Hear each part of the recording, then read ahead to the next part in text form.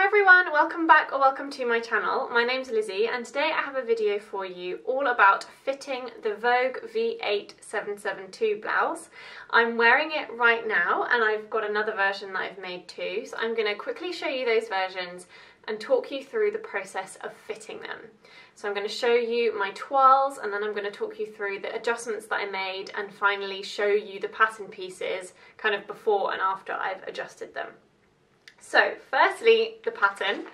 This is the pattern, it is the Vogue V8772 blouse and it's a great pattern because you get a lot of bang for your buck. You've got a pussy bow blouse, a blouse with a proper collar, short sleeve, long sleeve, tunic length, no sleeves, three quarter length sleeves. It's got lots of options in this one pattern.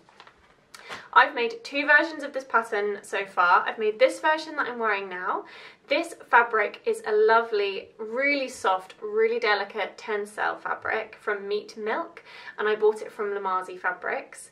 Um, I made View B with this fabric, which is the Pussy Bow Blouse version as you can see. But I've also done a hack on the sleeves to add a full billowy bishop sleeve. So I'll step back a bit so you can see the sleeves in action. The fabric is really quite sheer, um, so I have to be careful what I wear underneath, but other than that, I'm really happy with this version. The next version that I've made is View D, so this is the kind of standard blouse version that I've just left it with the normal sleeves this time. It's got a collar and a collar stand, buttons down the front, but I actually lengthened this one to make it more of a tunic length so that it covers my bum. The first thing to think about with regards to fitting and sizing when making a new pattern is the size. So which size you're going to start with for your first toiles and to then make pattern adjustments from. I've learned that the best way to approach choosing the size of a garment that's based on kind of the upper part of your body, so a blouse, a top, a dress, is to think about your high bust measurement. Now, it doesn't usually give it on the back of the packet, but if your pattern is drafted to a dressmaker's B cup, then the high bust measurement will be two inches smaller than your bust measurement. So what I literally do on the back of my packets or in my instruction booklet is I take a pencil and I write down the high bust measurements by subtracting two inches from the bust measurement. But as I said, go and watch my other videos if you want to hear me discuss that in more detail. This pattern, I believe, is drafted to a dressmaker's B cup, but it was quite hard to find that out online. It's not really clear. It come, this pattern comes in two different size ranges by the look of it, because on the back it says it's got combination A5, size 6 to 14, and combination E5, size 14 to 22, but it's not really clear what the A5 and E5 means. I don't think it will be drafted to an A cup and an E cup because that's just quite unusual. So I kind of assumed this was drafted to a B cup, but I'll put some resources in the description box below with some blog posts that talk about which um, pattern companies draft to which dressmaker's cup size. So my dressmaker's cup size is a double zero because my high bust measurement and my full bust measurement are the same. They don't have that two inch difference. That means I know I basically always have to do a small bust adjustment. If your full bust is more than two inches bigger than your high bust, then you probably have to do a full bust adjustment. So my measurements led me to believe that I needed to make a size 10 and then do my small bust adjustment because my high bust measurement is most closely aligned with the size 10 high bust measurement in the pattern.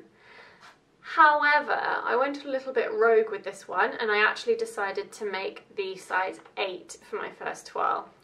The reason being is that I know that these patterns, so the big four patterns, Vogue, Simplicity, Butterick, McCall's, often are really, really generous with ease. I prefer my garments to be slightly um, sort of tighter fitting rather than looser fitting generally, so I actually decided to um, make a size 8 for my first toile, including the small bust adjustment.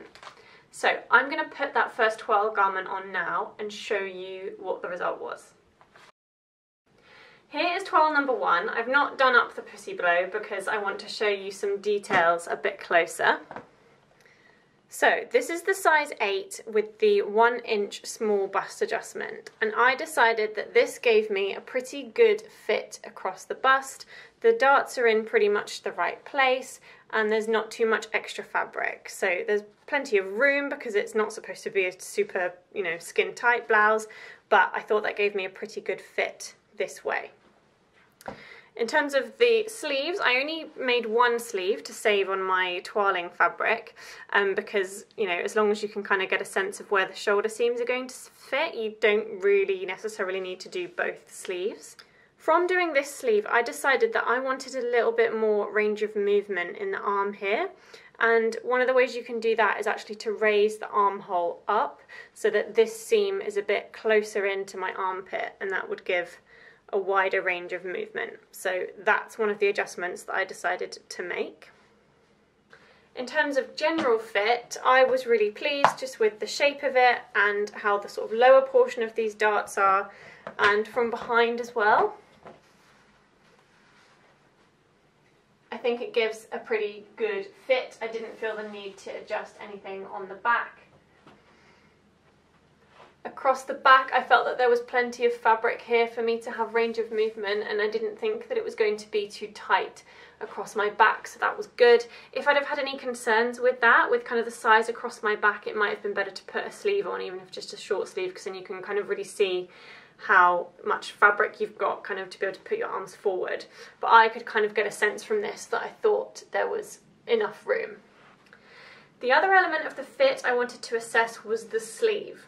Now actually, with hindsight, I think I could have taken a little bit of length out of the sleeve because I think it is a tiny bit too long for me. But what this sleeve did show me was that I didn't want to just leave it as a as a white as a straight sleeve. I thought I wanted to do something a little bit more exciting with it, particularly because white is not usually my colour. I wanted to make it a bit more of a statement blouse, just rather than just a simple white blouse. So I decided this sleeve was too boring. I wanted to make a big puffy bishop sleeve. But in order to give it a really good contrast between my wrist and the fullness of the sleeve, I decided that I would need to make the, col uh, the collar, I keep calling this the collar, I mean the cuff. I've got quite a bit of excess in the cuff here, so I decided that I wanted to make the cuff a little bit smaller so that it would be tighter on my wrist and therefore the billowiness of the bishop sleeve would be more obvious, to be more of a contrast. So the outcome of this toile was for me to decide that my one inch small bust adjustment was good to go, that's enough. Um, I decided that I needed to make the cuff smaller, to hack the sleeve into something more exciting, and to raise the armhole. I decided to raise it by a centimetre. So all of my adjustments that still needed to be made, pretty much, well, they just related to the sleeve. So I actually just toiled the sleeve again. Um, again, it was really a really good opportunity to practice my um, lapped cuff technique because that was quite tricky. Um, and yeah, I made the mistake of making another left sleeve. If I'd have made this as the right sleeve, then I could have attached it and I could have had two sleeves to compare. Um, but I'll have to just hold it up to show you. In fact, I could put my arm in it, couldn't I? It's not the right side, but it'll give you an idea. So I'd made my cuff narrower, so I knew that that was going to be much better to have a contrast between the cuff and the puffy sleeve. But I also decided that this first sleeve that I had hacked, so I'll show you this in the next section of this video, I'll show you the pattern pieces. I decided that this wasn't enough drama, not enough volume in the sleeve, I wanted more. If I pin this together you can see hopefully a bit better how much volume we're talking here. That's the amount of volume that we're talking. I decided I wanted to go bigger. So the result of this toile sleeve was that I needed to add even more volume to the belt sleeve.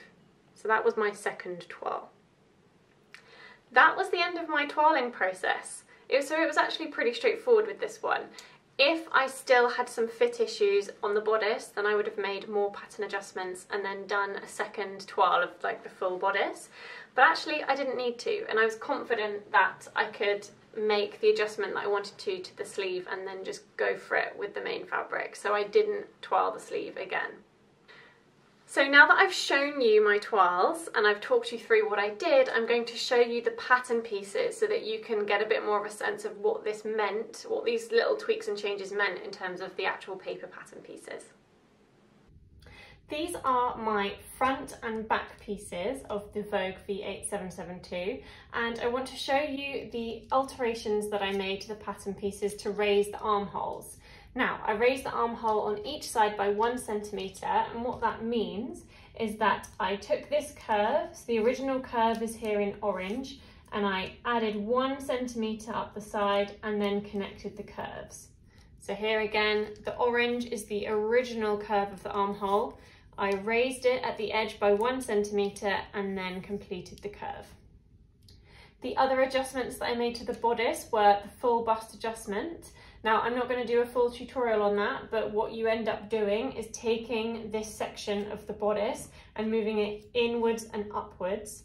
This meant that I actually ended up lowering the apex again. So when you do a small bust adjustment, the dart moves in and up but that obviously moves your apex point up and I didn't need the apex to be any higher. So I cut around this dart and moved it down again. And that's what these two pattern pieces look like. For the second version that I made in the leopard print, you'll see that I extended the pattern pieces to give it a longer look. I did realise that I actually could have used the original pattern pieces because the original pattern pieces do include a version with a tunic length, but doing it myself meant that I could customize it to the exact length that I wanted. Next, I'm going to show you the sleeve pieces because as you know, I did my bishop sleeve hack. So I've actually got four different versions of the pattern piece here and I'm going to show you them all. First up is the blue pattern piece. This is the original pattern piece for the size 8 you will see that I've raised the armholes on the sleeve pieces in exactly the same way that I did on the bodice front and the bodice back pieces. So all of the armholes pieces have been raised by one centimetre. You'll see a green line here. Now, I actually took a sliver off of the arm because I needed it to match the cuff. So you will see that I have made this cuff narrower in order to have it tighter around my wrist. And you can see the piece that's sort of disappeared here. So what I did was cut down the middle, overlap by the amount that I wanted to take out and then stick it back down again. This didn't matter for my bishop sleeve hack because the bishop sleeve hack involves gathering the volume of the sleeve together, but it meant that my sleeve piece was then too big for my cuff when I came to make my leopard print version with the ordinary sleeve. So I took two centimetres off of the side of the sleeve and just graded it off at the side there so that this piece now matches the cuff piece. In order to do my bishop sleeve hack, I needed to trace off another version of this pattern piece that I could cut up and play around with. So this is the original piece in blue. This is the next piece in orange that was my piece that I used to play around with. So the way that you do a bishop sleeve hack is by creating some lines, some vertical lines parallel to the grain line from the hem of your sleeve up to the seam allowance on the sleeve curve. So I've done one line up the middle to the seam allowance. So I've done a dotted line around here to show my 1.5 centimetre seam allowance. I've done another line here up to meet this notch and another line here up to meet the other notch. It's best to keep these lines within the notches if you can. What this now allows me to do is to spread out these pieces. So I can spread these to my heart's content until I feel like I've got enough volume once you're happy with the spacing and you think you might have given yourself enough volume, you can either stick some scrap pieces of paper behind or on top to fill these gaps and then neaten off this edge here, or you can actually just trace off a whole nother pattern piece. I've traced off another piece. So this green piece is the piece that I used to toile the sleeve. So do you remember I just showed you my one armed toile with this blue pattern piece.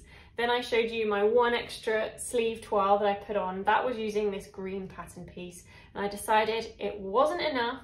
So I went back to the drawing board by drawing board, I mean this orange piece, and I spread these out even further, and I traced off this red piece. So you can see I've added even more space here, and it's just a really big sleeve piece now. I'll compare this to the original piece. So that's how much extra volume I've added compared to the original piece. And this is what allowed me to get that big billowing, almost kind of pirate-esque sleeve that I'm really a big fan of. So there you have it. I thought I'd put on my leopard print View D version to sign off this video and I thought I'd just put in a few pictures of both of the finished garments to remind you of how they looked in the end once they were both finished. And just as a reminder, the pattern adjustments that I made were, um, from a size 8, I did a 1 inch small bust adjustment. I raised the armhole by 1 centimetre. I took the cuff in by a couple of centimetres and I did a bishop sleeve hack on my white version and I lengthened this version to make it more of a tunic length. I really hope you found it helpful to hear me talk you through my fitting process, to show you my toiles, discuss the changes that I wanted to make, and to show you how those changes were reflected in my pattern pieces. I've had some really good feedback from you guys on these fitting videos that I've been doing recently, so thank you for your lovely comments. Um, I'm very happy to keep making them if you would find them helpful, so I'm currently working on making the By Hand London Hannah top, which has been such a popular pattern, and it's a wrapped shape, and I was a bit nervous about the fitting process, but it's been going, I think, really well. So I'd be very happy to share that process with you as well when I've finished making that. Um, but for now, thank you ever so much for watching. Please do give this video a thumbs up if you enjoyed it and subscribe to my channel if you would like to see more of my videos. I'd also love to see you over on my Instagram, which is lizzie underscore dot B. I'll put it on the screen and down below. Um, and if not, I'll see you here next time. Bye!